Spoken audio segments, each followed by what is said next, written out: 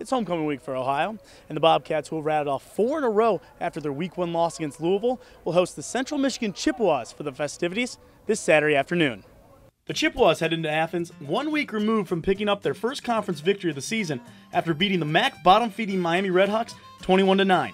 And although the streaking Bobcats are easily favored in the homecoming matchup, the Chippewas have had Ohio's number the past decade, with the MAC West foe winning four of the last five against the Bobcats.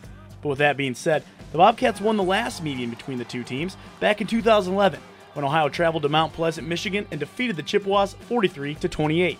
A second straight victory against Central Michigan isn't the only thing on the line come Saturday.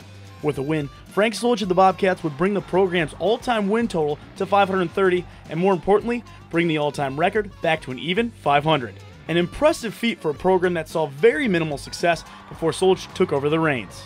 Get this program above, above 500, I, I think, is very meaningful to uh, to everyone uh, associated with the program, and that, that's very far-reaching from those in the past to, to those uh, in, in the present. The Chippewa to watch on Saturday is sophomore running back Saylor Lavallii, who was filled in respectably for the former 1,000-yard rusher Zurlon Tipton, who has been out with an injury for a greater portion of the season. For the Bobcats, keep an eye on the defensive front seven, who was coming off an eight-sack performance last week against Akron.